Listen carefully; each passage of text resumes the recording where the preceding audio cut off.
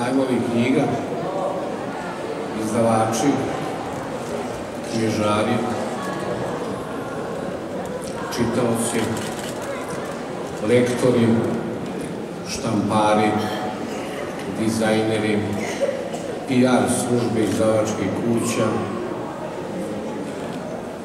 ne mogu da se sjetim, ali još puno ljudi učestvuje u onome što je, što je knjiga. I kao da se u toj punoći neki put zaboravlja na ono što je u temelju svake knjige, o činu pisanja, o činu stvaranja naučnika ili pisanja. Zato sam ja želeo da večeras pročitam jedan kratak tekst koji govori o tome zapravo od čega sve počinje. Počinje od pisanja.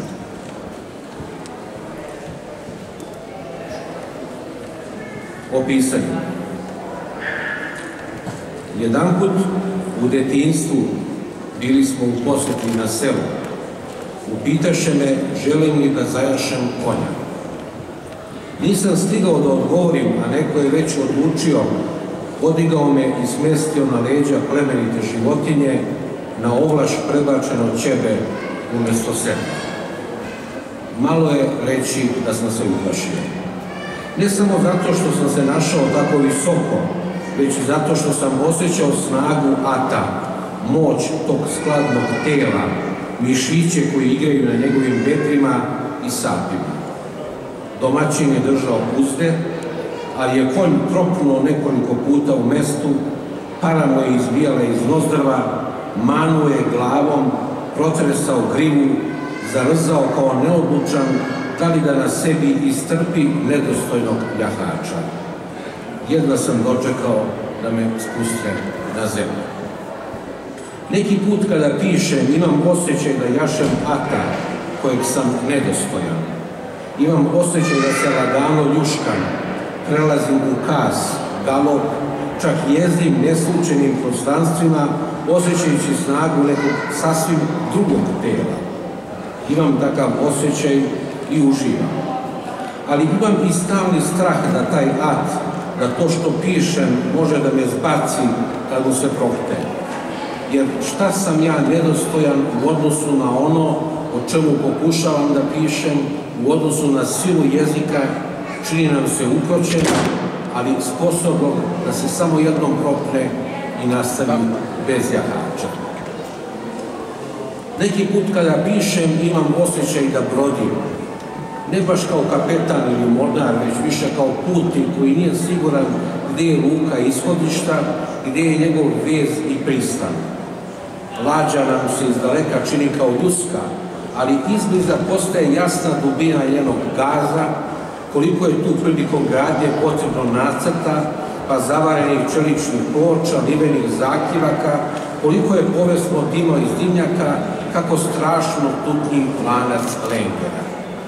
Brod je veliki, svaka paluba je kao kuća na kući, ali na pučini izgleda kao da je napravljen od spesavijanog papirića. Lađa odjekuje, svaki šum ili škripa prenose se komorama, skladišta mogu da prime Bog sveti zna koliko čega, ali na pučini ona izgleda kao da je napravljena od papirića na koje mogu da stanu reč ili dve rečenica. Putovanje brodom je slično pisanju gledano i izbliza i izdaleka. Neki put kada pišem imam osjećaj da letim, ali nikako avionom, za koliko sam razuman, znam da ne znam da pilotiram. Imam osjećaj da letim tako što me o koncima vuče čitavo jato dvokrivnih bijelih vrata iz jedne bolnice u kojoj sam boravio kod djete. Ta, ta uznahana vrata me vuku kao čitavo jato uzlepetnih tica. Letim kao da me podižu o lance vezana gozena džulat naših teških dana, koji inače ne bi bio u stanju da podignem i da pomerim. Letim kao da stojim na našem čilimu drugog kraja sveta iz Meksika, čija se šara zove reke i planine.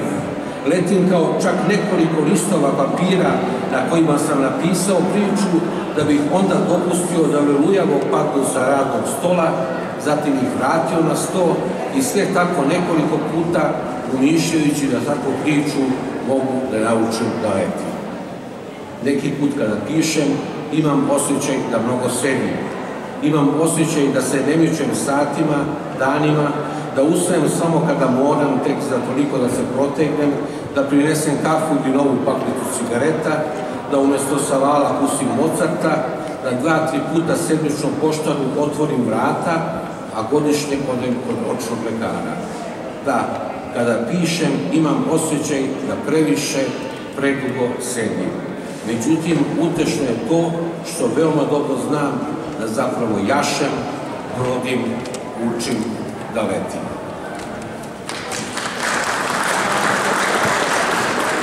Neće vam biti teško da zamislite, pošto je ovo sportska hala, da umjesto svih ovih knjiga su lopte. Dakle, svaka knjiga je lopta. Pa ja mislim da lopte koje su mirne, ničemu ne služe, uzmite ih u ruke, dodajte ih jednim drugima, samom knjiga u piloti